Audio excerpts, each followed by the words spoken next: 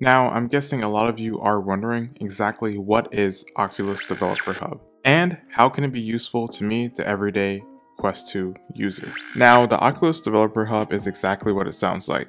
It's a hub that gives developers all the tools they need when developing games for the Quest 2. So in this video, I'm going to show you why this is a must-have even if you're not a developer.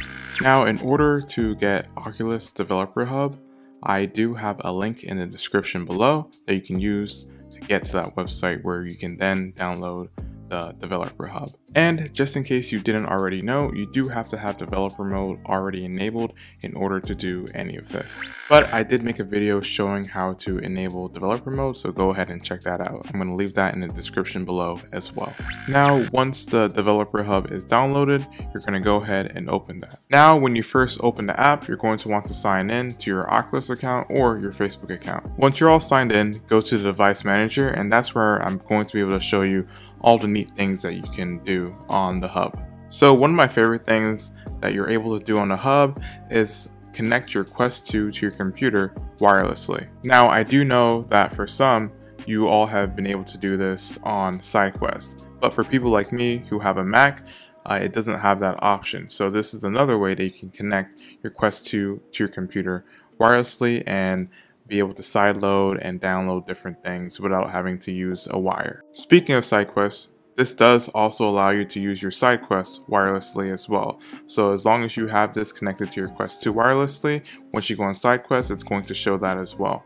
This also does allow you to turn off your proximity sensor on your Quest 2, so now you no longer have to worry about your Quest 2 automatically shutting off. You can also use this to take screenshots or record video and I'm going to get back to that later on in the video because that's really important and it's something really cool that I want to show you all. You can also get some developer exclusive news you can uh, look at downloads for new SDKs if you're into that. A lot of these things here can show you the upcoming future for the Quest 2, so it's really cool to look at sometimes. You can also go on a file manager which allows you to see basically everything on your Quest 2 like videos and photos. You can see a live reading of how well a game is performing. Personally, I don't really use this, but it is cool. And now, last but not least, recording. Now, as a content creator for VR, my favorite thing about this hub is that you can record pass-through from the Quest 2 in this developer hub. So the settings here while casting and recording allow you to adjust the resolution,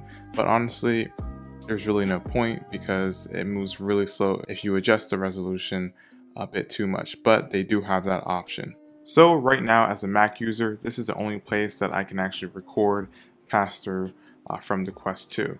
I know others say they can do it on SideQuest, but with a lot of other things when using Mac um, and using SideQuests, we can't do that. So this is the perfect way that people like me can record pass-through or do a lot of other things you're limited to on SideQuests. So these are some of the reasons on why I think everyone should be getting Oculus Developer Hub.